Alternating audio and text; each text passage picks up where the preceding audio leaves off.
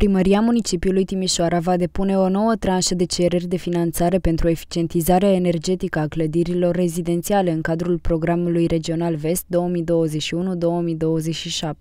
Proiectul cuprinde blocurile situate între Bulevardul Cetății, strada Gheorghe Lazar, calea Circumvalațiunii și calea Torontalului. Asociațiile de proprietari din zona Dacia mai au timp până în data de 30 iunie pentru a trimite documentele necesare pentru includerea în acest program. În cadrul programului se numără solicitarea asociației în vederea mandatării UAT Timișoara, hotărârea adunării generale a proprietarilor și anexele, lista proprietarilor și destinația spațiilor din bloc. Finanțarea acoperă reabilitarea termică termică a clădirilor, îmbunătățirea instalațiilor, implementarea de surse regenerabile de energie și alte măsuri conexe necesare proiectului.